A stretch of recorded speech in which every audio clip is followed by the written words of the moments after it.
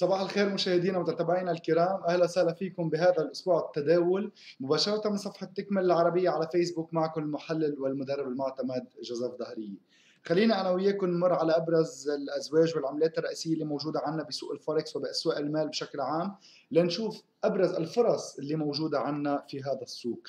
آه، مع افتتاح أسبوع تداول جديد جلسة أمس كان عندنا إغلاق للسوق الأمريكي وطبعا إغلاق إذا بدكم بسبب ال US Memorial Day وهي طبعا عطلة رسمية في آه، آه، الولايات المتحدة وأيضا في أوروبا. خلينا أنا وياكم نشوف ومع افتتاح هذا الأسبوع كيف التقلبات عم نقدر نتحملها وأنا وياكم كيف ممكن يكون عندنا بعض الفرص اللي ممكن نستثمر فيها آه، سويا في البداية العملة الأوروبية الموحدة شو مخبيت لنا اليورو دولار اليورو دولار بجلسة أمس كنا تكلمنا على انخفاض وتراجع إذا بدكم اليورو دولار مقابل أو اليورو مقابل الدولار الأمريكي وصولا إلى مستويات تقريبا ال 111 60 111 59 ما قبل الارتفاع عن جديد.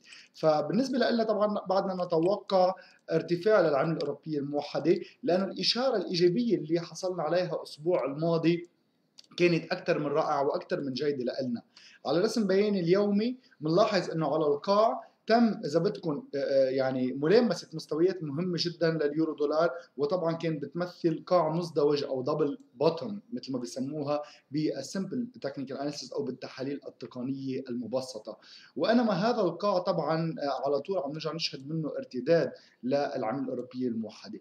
الهدف لنا هو آخر قمة انخفضنا منها اللي هي تقريبا قمة ال 111 112 59 وهذه إذا بدكم المستويات المنتظرة للعمله الأوروبية الموحدة للتفكير ولإعادة امتحان بالنظر أو بالسيناريو المفترض اللي ممكن نواجهه للعملة الأوروبية الموحدة.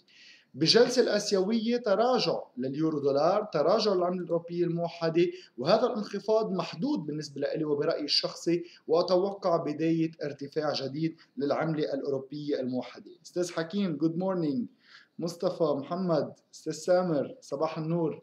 أهلا وسهلا فيكم. باستعمال فيبوناتشي من آخر قاع لآخر قمة بعد تقريبا ما تلمسنا مستويات ال 38.2% بعد ما تلمسنا مستويات ال 50% فبعد عندي مجال أكثر إنه السوق ينخفض ويتلامس مستويات بعد أوطى لليورو دولار ما قبل الارتفاع وبداية ارتفاع العملة الأوروبية الموحدة. فبالنسبة لنا الموجات الاندفاعية لها موجات تصحيحية. الموجات التصحيحية بتكون على شكل ثلاث موجات أو ثلاث موجات تراجع 3 waves pullback ما قبل الارتفاع عن جديد. فإذا بندخل على رسم بياني 30 دقيقة أو حتى الساعة إذا بدكم ممكن تكون جيدة للنظر بهذه الهيكلية أو بهذا الانخفاض بنلاحظ إنه الانخفاض كان على شكل خمس موجات طبعا بالنسبة لليورو دولار.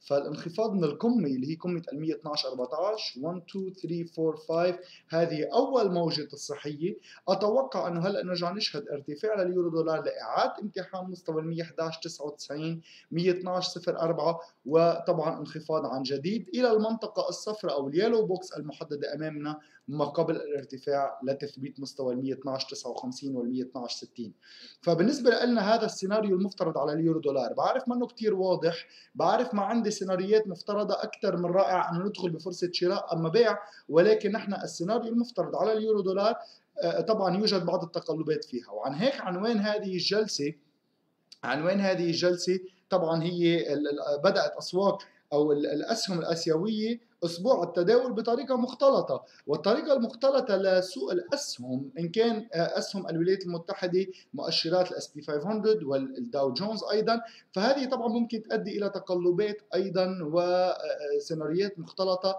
للعملات الرئيسية. فبهذه الحالة بدنا نلاحظ أو بدنا نكون نحن أكيدين من التقلبات اللي عم تحصل عنا وخاصة السبب لهذه التقلبات وهذه الفولاتيليتي فبالنسبه لي طبعا وبالنسبة للتشنجات اللي عم تحصل عالميا وخاصة في الولايات المتحدة إذا بندخل على آخر بيان كنا نزلناه على مدونة تكمل بنلاحظ إنه عنوان كان هددت الولايات المتحدة بفرض رسوم جمركية على صناعة السيارات اليابانية.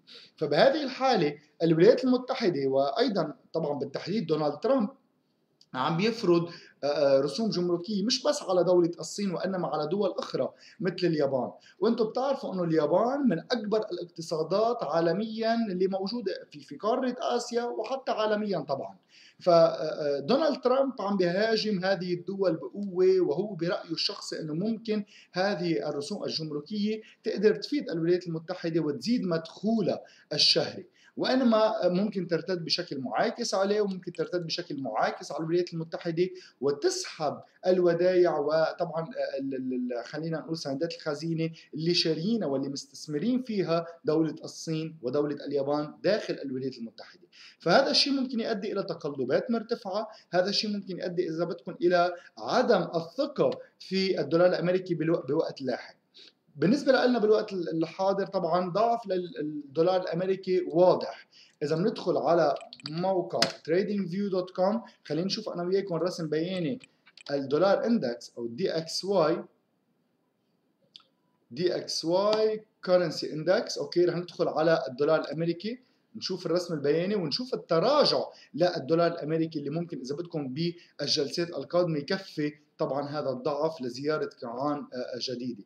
فبالنسبة لنا قمة ال 98 دولار للدولار الأمريكي يعني آه، أو لل DXY لمؤشر الدولار الأمريكي طبعا كانت أكثر من مهمة. هذه المستويات اللي تم تثبيتها مرتين آه، بالضبط. هلأ التراجع بهذه الشموع اللي عم نشهدها شموع حمر مسيطرة على مؤشر الدولار الأمريكي ممكن تكفي بالجلسات القادمة وصولا إلى مستويات ال 97 13 وحتى أقل. تمام فهل يا ترى هذه الموجة الصحية للدولار الأمريكي؟ نعم بعدنا نحن ننتظر أو بعدنا ما بنأكد أنه هذا الانخفاض اندفاعي في البداية الإشارة الانعكاسية اللي بنشهدها على رسم بياني معين بنسميه أو بنلقبها على أنها موجة الصحية ولاحقا طبعا لما يتم اختراق مستويات مهمة جدا ويتم إغلاق تحت مستويات إذا بدكم دعم رئيسية اللي هي تلقب ب support 1 و support 2 سبورت يعني عم نتكلم عن نقاط دعم رقم واحد ورقم اثنين.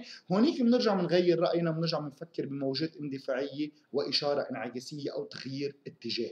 فبالنسبة لنا ومع آه، تكملة اتجاه الهابط للدولار الأمريكي داخل داخل أو ضمن هذه الموجة التصحيحية ما في شك إنه ممكن نكفي آه، ارتفاع العملات الرئيسية أيضا ضمن موجة الصحية اليورو دولار بكل بساطة عم بيرتفع بشكل موجة الصحية وكذلك الأمر تراجع الدولار الأمريكي بنفس الشكل. هلا بالنسبة لنا طبعا اليورو دولار بعده ضمن موجة الصحية إلى حين اختراق مستوى ال 112.60 وإغلاق فوقه هونيك بنرجع بنفكر بإشارات إذا بدكم شراء أو بإشارات إيجابية للعملة الأوروبية الموحدة. بالنسبة لاسترليني دولار ضعف الاسترليني دولار بعده مسيطر عليه فريق الدبب. ما في شك إنه ال bearish signal اللي موجودة عندي طبعا يعني ضخمة جدا الاتجاه العام هابط. آه، آه، ما فينا نحن نفكر بالشراء الاسترليني دولار أو ال pound دولار إلى حين وصوله إلى مستويات مهمة جدا أو مغرية جدا للشراء. شو هي هيدي المستويات؟ باستعمال فيبوناتشي على رسم بياني الاسبوعي من آخر قاع لاخر قمة تم تثبيت مستوى ال 61.8% وهذه أول مستويات شهدنا ارتداد منها. هلأ الهدف الآخر لنا بالنسبة لاسترليني دولار هي هذه المنطقة اللي هي منطقة بين مستوى ال 61.8% ومستوى ال 76.4% هذه المستويات اللي من خلالها رح نكون عم نرجع ندرس سيناريوهات مفترضة أخرى لل pound دولار إذا في حال بدنا نفكر بالشراء. ما حدا رح يفكر بشراء ال pound دولار ما حدا رح يفكر بشراء اليورو دولار إلى حين أخذ إشارات وتأكيد و confirmation فوق مستويات محددة.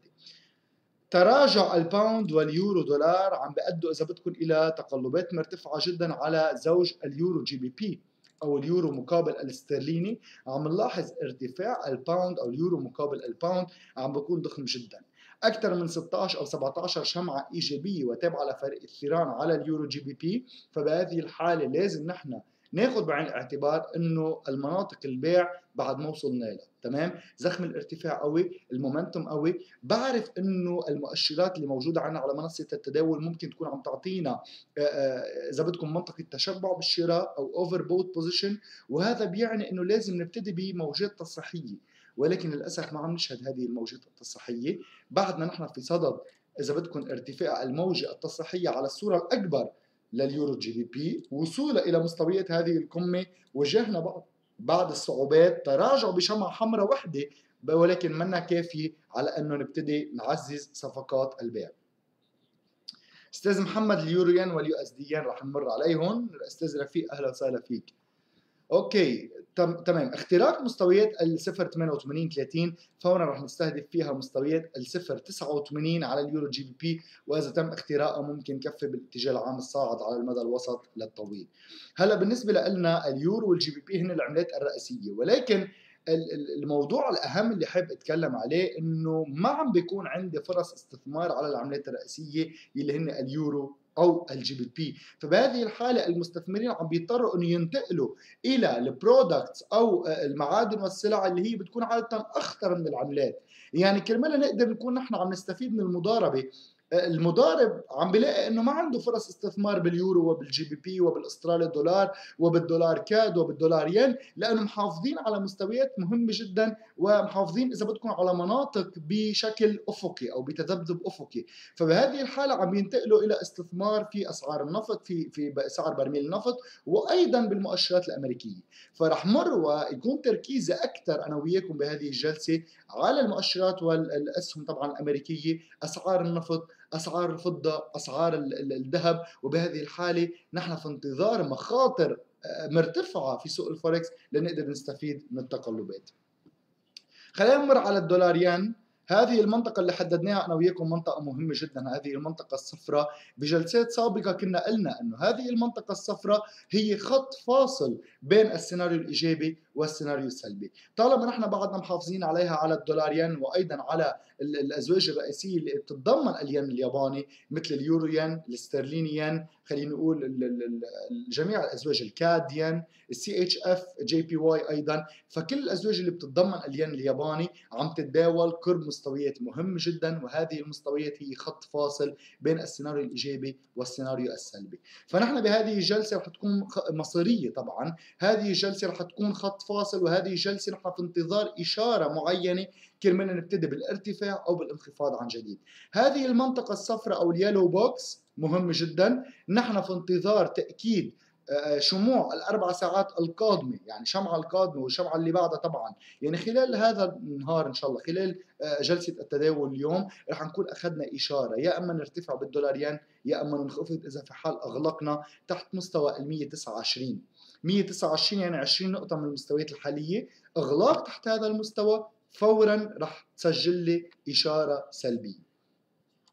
يورو ين شو عم بيصير عنا على؟ اليورو ين أيضا من وراء افتتاح جلسة الأسيوية وطبعا إشارة حمراء وشمعة حمراء ابتدينا نشهدها بكل بساطة كنا حددنا مستويات مهمة جدا وبالنسبة لموجات إليوت كنا قلنا إنه تثبيت مستوى ال 61.8% اللي عم نتداول بقربها هلأ مستويات مهمة جدا. وأنا بالنسبة لموجات إليوت واستراتيجية موجات إليوت دخلنا بشكل دقيق على الموجات على رسم بيان الساعة وكنا قلنا إنه نحن في في انتظار إذا بدكم آه، آه، موجة أخيرة موجة هبوط أخيرة لتسجيل الموجة الخمسة من خمسة.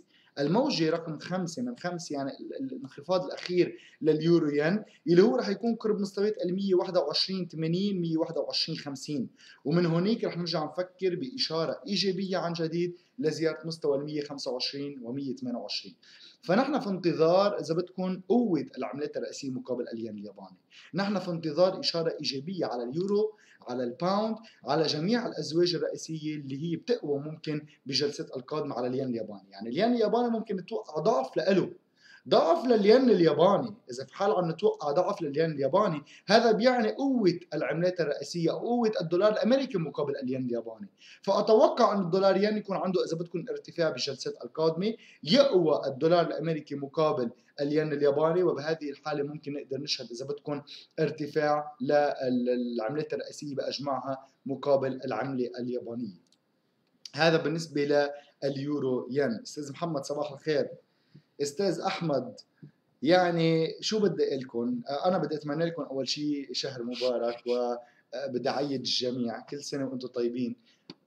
يعني المسابقات اللي عم نقدمها في شركة تكمل اللي تابعة طبعا لمسابقة شهر رمضان المبارك. بهذه الحالة بده يكون في عنا آه، آه، إذا بدكم بعض الصحوبات وخاصة من خلال برنامج ممكن إنه يسحب بعض الأسامي. فأستاذ أحمد أنت ربحت الأسبوع الماضي وطبعا هذا كان من نصيبك فما فيك تربح كل أسبوع. ما فيك تكون معصب من شركة تكمل لأنه أنت ما عم تربح الجائزه كل أسبوع.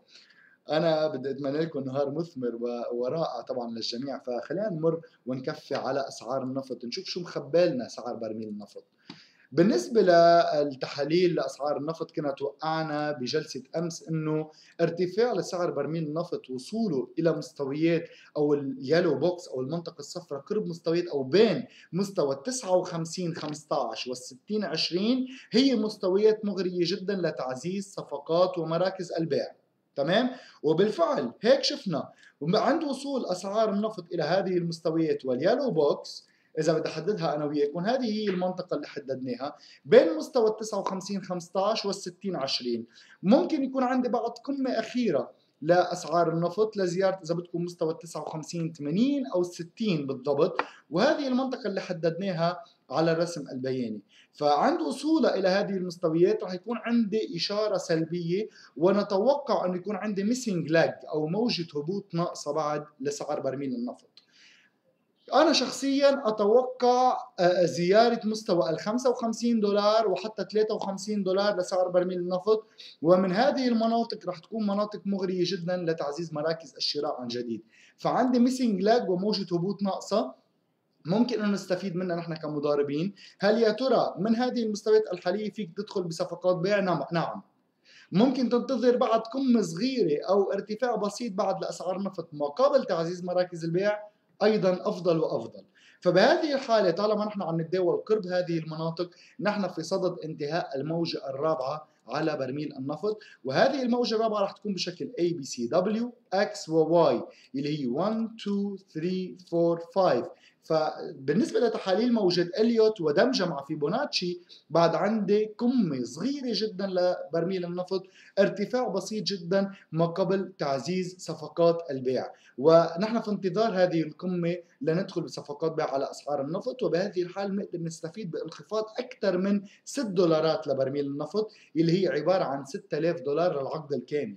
العقد الكامل هي هو عبارة عن 1000 برميل لسعر برميل النفط ونتوقع مع انخفاض سعر برميل النفط بموجة اندفاعية أخيرة ممكن نرجع ننبش على إشارات إيجابية وإذا بدكم آه، آه، مناطق شراء لبرميل النفط قرب مستويات 53 وال 55 دولار. بالنسبة للمؤشرات الأمريكية أيضا نفس السيناريو. أنتم بتعرفوا إنه عندي علاقة إيجابية بين الداو جونز وبرميل النفط. وهذه العلاقة طبعا آه، مثل ما بيقولوا غير واضحة للجميع وغير معروفة خلينا نقول. ولكن إذا بنحطهم على البرنامج سويا وبنشوف ال correlation أو العلاقة الإيجابية موجود علاقة إيجابية طبعا منا 100% ولكن almost uh, 60% أو 65% بين النفط والداو جونز اللي هو مؤشر الأمريكي طبعا ال industry الصناعي. الداو جونز uh, 50 okay داو جونز 30 عفوا اللي هو يتضمن 30 شركة blue chip companies أو شركات طبعا 30 شركة. فبهذه الحالة إذا في حال نتوقع ارتفاع بعد بسيط لاسعار النفط مقابل الانخفاض والانهيار لسعر برميل النفط. يعني ممكن يكون عندي بعد ارتفاع بسيط بسيط للمؤشر الأمريكي الداو جونز مقابل الانخفاض الضخم لزيارة وتثبيت قاعان جديده فالمؤشرات الأمريكية بعدنا ضمن الموجه التصحيحيه وبعدنا ضمن هذه آه، آه، إذا بدكم الموجه موجة الهبوط. من هذه القمة لهذا القاع بعد ما انتهينا من الموجة التصحيحية نتوقع بهذه المستويات يكون عندي مستويات مغرية جدا لتعزيز صفقات ومراكز البيع. تمام؟ فبهذه الحالة آه، رح نكون أيضا في انتظار ارتفاع بسيط بعد للمؤشرات الأمريكية ومن ثم تعزيز صفقات البيع للانتهاء من الموجة التصحيحية للمؤشرات الأمريكية.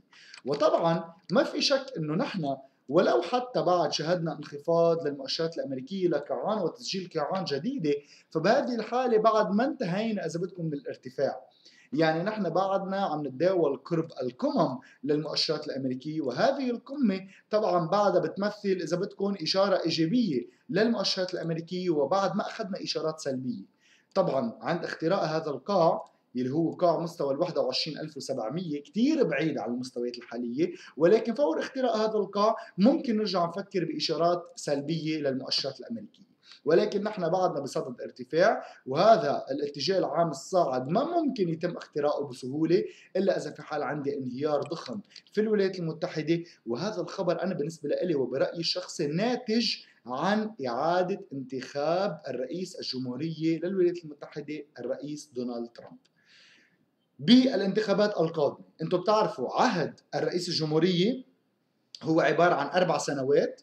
أربع سنوات عم نتكلم السنة الجاية طبعا آه، آه، السنة القادمة رح يكون عندي إعادة انتخاب آه، رئيس جمهورية للولايات المتحدة وإذا في حال تم انتخاب رئيس دونالد ترامب عن جديد وبهذه الحالة رح تكون إشارة إيجابية ضخمة جدا للمؤشرات الأمريكية ومن وراء الموجة التصحيحيه اللي عم نتوقعها هلأ نتوقع تكمله الاتجاه الصاعد لتسجيل قمم جديدة ومستويات جديدة all time highs لأنه دونالد ترامب عم بيعطي ثقة كثير قوية للدولار الأمريكي عم بيعطي ثقة قوية للمؤشرات الأمريكية وما ممكن من السهولة إنه نبتدي بإشارات انعكاسية وبانهيار. هلأ بالنسبة لنا من وراء تسجيل قمم جديدة ممكن نوصل إلى مستويات مهمة جدا للانهيار. أنا كنت وعدتكم إنه بسنة 2019 راح يكون عندي انهيار للمؤشرات الأمريكية وهذه السنة مخبية أمور مهمة جدا للمؤشرات الأمريكية ولا ال S&P 500 ولا الداو جونز ال US 30 بالنسبة للنفط والمؤشرات الأمريكية كنا مرينا عليها. شو رأيكم بسعر انصه الذهب؟ حدا من الموجودين عنده بعض السيناريوهات المفترضة لسعر انصه الذهب. أنا كثير بهمني إنه نحن نتشاور بالسيناريوهات المفترضة. بالنسبة لي أنا شخصيا أتوقع انه أسعار الذهب ممكن توصل إلى مستويات 1298 يعني ارتفاع بعد موجة أخيرة لسعر انصه الذهب ومن ثم طبعا انخفاض وانهيار لإعادة امتحان مستوى 1240 وال 1234 إذا في حال أحد الموجودين وطبعا أنتم بتعرفوا أنه آه، آه، بحب إنه يكون في عندي هيك إذا بدكم interaction وبعض التفاعل بهذه الجلسات الصباحية من صفحة Tickmill. فأتوقع إنه من بعض الأشخاص يعطوني سيناريوهات المفترضه كرمال نقوم بتحاليلها سويا. أسعار الذهب بالنسبة لي من هذه المستويات ممكن تكون مغرية جدا لصفقات البيع. ووقف خسارة رح يكون فوق مستوى ال 1301 فإذا في حال ارتفع ارتفع الذهب لزيارته وتثبيت مستوى ال 1290 1292 رح نكون أكثر من سعيدين إنه نمتحن ونجرب فرص بيع مع وقف خسارة tight خلينا نقول. tight يعني عم نتكلم على risk to reward ratio قصير. شو يعني؟ لما ندخل بفرصة استثمار نحن كمضاربين بسوق الفوركس لازم يكون وقف الخسارة صغير ولكن صغير مقابل شو؟ مقابل الأرباح. فبهذه الحالة إذا نحن ال risk to reward يعني المخاطر اللي عم نعرض حسابنا التداول عليه مقابل الأرباح اللي ممكن نجنيها صغيرة بهذه الحالة بيكون ال risk to reward ratio رائع جدا ولازم نمتحن فرصة التداول هذه ولكن مش بالضرورة تكون 100% صائبة. ولكن إذا في حال أنا عم بقول إنه وقف خسارة للذهب على مستوى ال 1301 يعني فقط ب 10 دولارات وقف خسارة مقابل انخفاض من 1290 ل 1240 تقريبا بحدود 52 دولار وبهذه الحالة ال risk to reward ratio بيكون أكثر من رائع فلازم انه نجربها نجرب هذه الفرصة ولو حتى بجزء من العقد أو ب 0.1 أو ب 0.2 فأتوقع إنه سعر أونصة الذهب تشهد بعض التقلبات بهذه الجلسة. هلأ انخفاض الدولار الأمريكي كان ناتج على شو؟ انخفاض الدولار الأمريكي كان ناتج على ال US durable goods اللي هي طبعا بيانات كانت موجودة عنا وهذه البيانات اللي كانت موجودة عنا على ال US durable goods ال durable goods هي عبارة عن آه، إذا بدكم آه، بتمثل آه، مدى خلينا نقول ارتياح مثل ما بقولوا أو مدى إذا بدكم تحسن الاقتصاد في الولايات المتحدة. عم نتكلم على durable goods يعني عم نتكلم على شراء إذا بدكم أو ال purchasing power أو قوة الشراء عند المستثمرين أو عند خلينا نقول الشعب بشكل عام للأمور اللي غير أساسية. يعني أنتم بتعرفوا في البداية لما الواحد يكون عم بيجني بعض الفلوس وعم بيقبض معاشه آخر الشهر وطبعا المدخول اللي عم بيدخل آه، طبعا على جيوب المواطنين في البداية بيفكروا بالأمور الأساسية اللي هي ال shelter اللي هي البيت اللي هي طبعا الأكل أو المأكولات كرمال المعيشة ولكن بشكل أو آخر طبعا ثالث شيء آه، بيجي ال durable goods اللي هي الأمور اللي بيشتري بيشتريها المواطن. إذا في حال حابب إنه آه، طبعا يشتري خلينا نقول آه، جوال حابب يشتري TV حابب يشتري أمور ما لها إذا بدكم أهمية مثل المأكولات والبيوت وال shelter وإلى آخره. فال durable goods طالما عم بتزيد يعني الاقتصاد بأحسن حالاته يعني المواطن عم يصرف فلوس وال liquidity أو السيولة في البلد عم بتزيد. وطالما ال durable goods عم بتخف فبهذه الحالة الاقتصاد بدل على ضيقه في الاقتصاد تمام؟ مثل ما عم نشهد في الدول العربية إن كان بلبنان وطبعا آه، بمصر وبالجزائر وبالكويت وبمعظم الدول العربية. عم نشهد إذا بدكم هذه الضيقه الاقتصادية عم نلاحظ إنه التضخم عم بيأكل المواطن بأي شيء أو بأي آه، فكرة عم بيتكلم عليها. عم يأكل المواطن يعني المدخول للمواطن عم بيكون أقل بكثير من المصروف اللي ممكن يكون موجود عنده أو من اللايبيليتيز بالنسبة لجلسة اليوم البيانات اللي ممكن تصدر عنها اللي هي ال consumer confidence CB consumer confidence على الساعة 5 بتوقيت بيروت أو بتوقيت طبعا 6 بتوقيت السعودية. فبهذه الحالة ال consumer confidence هي ثقة ال ال ال ال ال خلينا نقول المواطن. ثقة المواطن خلينا نقول أو ثقة الشخص اللي عم بيصرف ماله. إذا في حال عنده ثقة بالدولة إنه ممكن يكون عندنا تحسن الاقتصاد أو حتى مدخول كبير عم بفوت له يوم بعد يوم بهذه الحالة بيكون مرتاح نفسيا أكثر فال consumer confidence من البيانات المهمة جدا اللي لازم نعتبرها أو لازم ناخذها بعين الاعتبار ضمن الاجنده الاقتصادية اليوم. فكانت 129 من المتوقع أنه تزيد لل 130 فإذا في حال كانت الأرقام المتوقعة أو ال expected بالفعل 130 فبهذه الحالة بنكون نحن زادت الثقة عند المستثمر وعند المواطن وبهذه الحالة طبعا هي إشارة إيجابية للدولار الأمريكي. جميع البيانات أو معظم البيانات اللي بنتوقعها آه، آه، هي ناتجة عن دولة الولايات المتحدة أو خلينا نقول دولة أمريكا. تمام؟ فعلى طول الدولار الأمريكي هو بالواجهه على طول الدولار الأمريكي هو الأساس على طول على طول هو المحرك. ف للأسف ما عندي بيانات بتدل على أرقام الشرق الأوسط ما عندي أرقام بتدل إذا بدكم على الدول العربية اللي نحن ساكنين فيها. فنحن عم نتأثر إذا بدكم أو عم نكون ضمن هذه الموجة الضخمة اللي عم تاخذنا وعم بتجيبنا بالارتفاعات والانخفاضات.